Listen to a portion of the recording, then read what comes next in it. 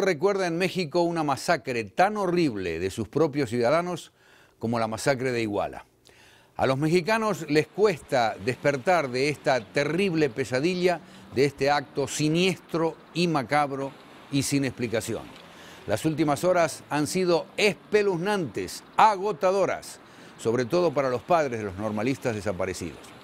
Así que en este programa develaremos los dramáticos hechos que concluyeron con espeluznantes confesiones.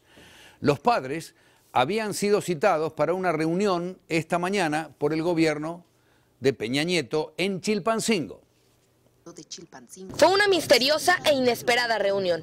Los padres de los 43 normalistas desaparecidos iban entrando en fila al hangar del aeropuerto de Chilpancingo, tras arribar en varios autobuses.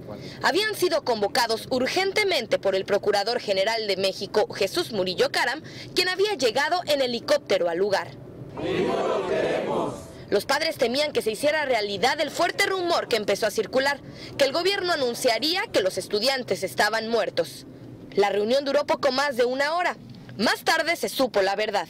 Jesús Murillo Caram les informó la aparición de seis bolsas con restos humanos y cenizas encontradas cerca del lugar donde fueron vistos por última vez el 26 de septiembre pasado. El hallazgo se produjo después de la confesión de dos delincuentes que condujeron a la policía hasta la ribera del río Cocula. La noticia no calmó los ánimos, al contrario, aumentó la tensión. En los próximos días se esperan más acciones de protesta en contra del gobierno de Enrique Peña Nieto. Para cierre de edición, Eda.